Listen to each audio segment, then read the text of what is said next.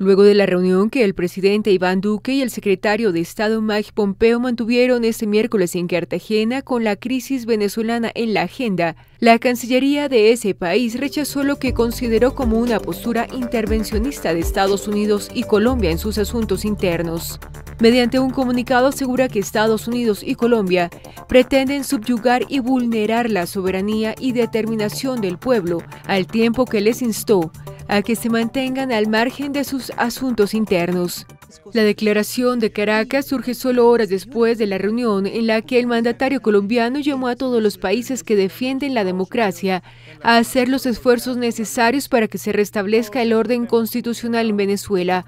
El canciller de Colombia, Carlos Holmes Trujillo, aseguró a través de redes sociales que el país seguirá actuando para contribuir al retorno de la democracia en Venezuela. Continuará actuando mediante medios políticos y diplomáticos, conjuntamente con otras naciones democráticas, para contribuir a que se creen condiciones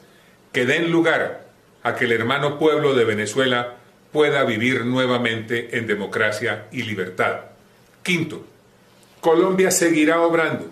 de conformidad con la legalidad internacional en defensa de la paz, seguridad y estabilidad internacional y sin ningún ánimo belicista. Venezuela ya había dicho que la visita de Pompeo a la región tenía el propósito de emitir órdenes directas a los gobiernos subordinados de Estados Unidos para que escalen sus agresiones contra la administración de Maduro, enfrentada en lo ideológico con varios países latinoamericanos y el propio Estados Unidos. El próximo 10 de enero, Maduro asumirá un nuevo mandato de seis años que parte de la comunidad internacional y anunció que no reconocerá por ser producto de unas elecciones que el Parlamento de ese país de mayoría opositora calificó como fraudulentas.